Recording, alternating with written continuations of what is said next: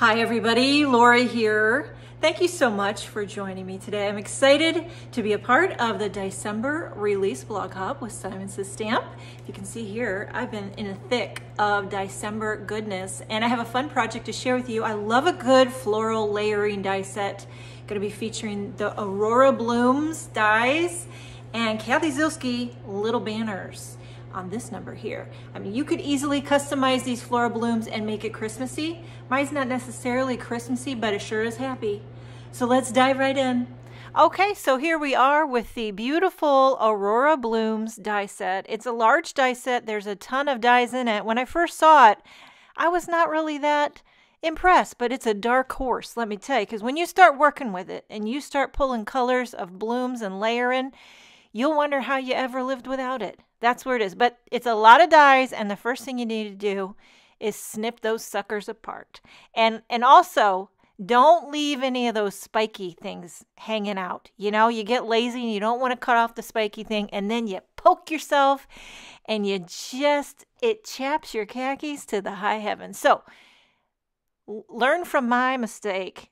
Cut off the little snippy pokies. Okay, so here's all the dies. There's a lot of them. And if you have trouble thinking, how do I layer these? Go onto the Simon Stamp website, take a look at the imagery. That's how I got my kickstart. But really, at the end of the day, there are no rules. You can layer, you can mix and match, you can do colors, whatever toots your flute.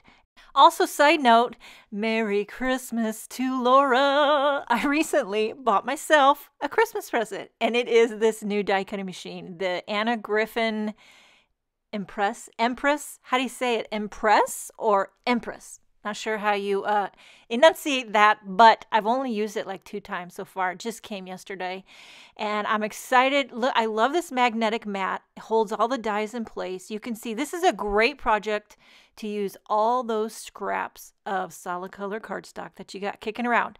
And so look at, I didn't even count how many I die cut at once, but I die cut the wazoo. About half of the Aurora die set. And I'm using a mixture of Concord Ninth, uh, little Simon stamp cardstock. There might be a little Hero Arts in there. Who knows what's in that stash? But I love using all these different colors. Uh, about the die cutting machine, I think I've I've had. I started out when I first started stamping. I got the Sizzix Big Shot, and then I moved on to the Spellbinders.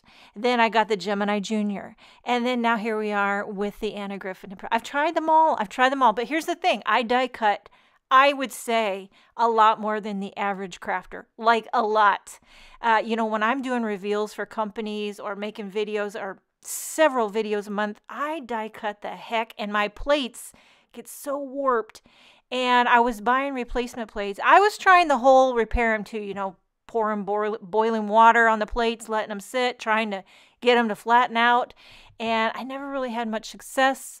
Uh, my Gemini Junior one, I don't know if it was faulty on my end, but my Gemini Junior was too tight and too loud. So that one got on my nerves. Uh, the spellbinders, I would say I used more than anything, and I still use that one. I have it handy, but I just got this one here. I'll let you know. It's probably only the third time I've used it in this video, but so far, I really love that magnetic mat. I haven't cut into it yet. Let's hope I don't. Uh, so it is a little reverse. You, you die cut up. Um, so far, I'm getting used to it. Now, another thing I would say highly recommend these two tools by Simon Says Stamp, the Place and Pierce and the Place and Score wand.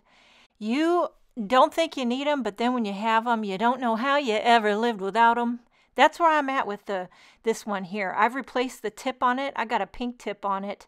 Had one in the drawer because that little wax tip can wear out or it can break. So make sure you got replacement tips for your embellishment wand. Now this little bloom here, I don't know what she's called, but you gotta like glue the blooms, tuck them into the stem, if that makes sense. Hopefully by watching me, you can understand what I'm doing because when I try to explain it, I feel like I'm not very clear. But you know what? It's December. And I don't know if you get a jumbly hot mess in December in the brain, but I do. I've talked about this before. I got five kids.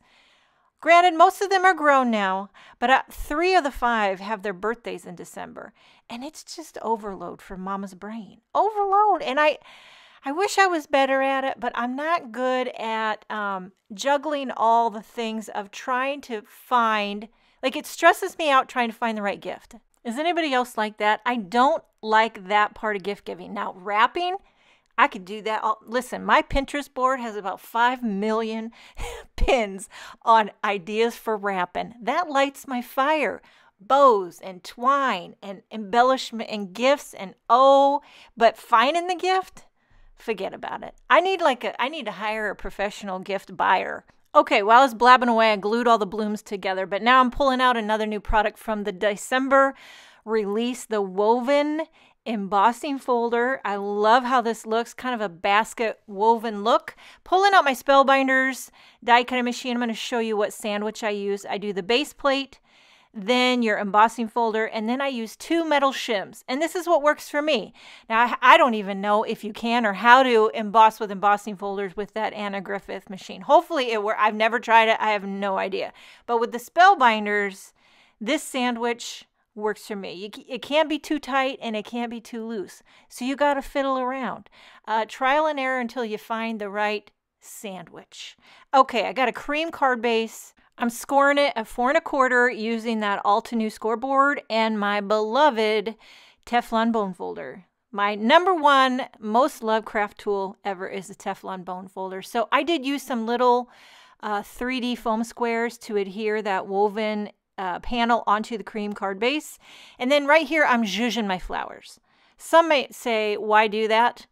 And some might say, why not? But I love to zhuzh, and I know it might get flattened out in the in the envelope, but it's for me and it's great for photography. So I'm here, I'm just kind of getting the lay of the land, seeing how all these blooms fit together, feeling like a florist. Okay, for the sentiment, I'm pulling out the new Cathy Zielske Little Banners die set. And I love this die set. I'm going to use Cheers. I'm die cutting the Cheers out of black and the plain banner out of white. And I'm going to see how that looks. Now, I do like it, but I felt like the black was a little too harsh. So I'm going to try it again out of some matte gold cardstock. And that gave me just the right bada boom. Okay, so this uh, CZ Little Banners die set has cheers. You can also do salute which I believe is cheers in French, and then to love. So it's really more of like a toasting sentiment or a celebration occasion. I hope she makes more of these banner sentiments with, uh, you know, just everyday phrases like hello and stuff like that. But for today, we're doing cheers. So I'm using some Bearly Arts glue and I'm just going to glue all these little blooms on, kind of tucking them in here and there, creating a little bit of a composition. Everything's framing that cheers banner. And I love how bringing in all these colors just bring in the happy. Now, if you want to customize this for the season, you could definitely make this more um, festive if you stick to more reds and greens. You could make it a holiday floral arrangement. Uh, if you want to make it autumnal, do some autumn tones. You could do it springy. You see where I'm going? So uh, here I just ran the gamut with every color of the rainbow, except for I don't think I don't think I did anything with purple. And that's a shame. But I will say I'm wearing a purple sweatshirt. So there's that. A uh, couple foam squares on the back of that banner, popped it up right in the middle, and kind of zhuzhed those flowers. I didn't add any embellishments because I felt like there's enough going on. But this card is finished and it's making me happy. Uh, make sure and check out the rest of the DieCember release blog hop with Simon Says Stamp. Have a wonderful day, and I will see you next time.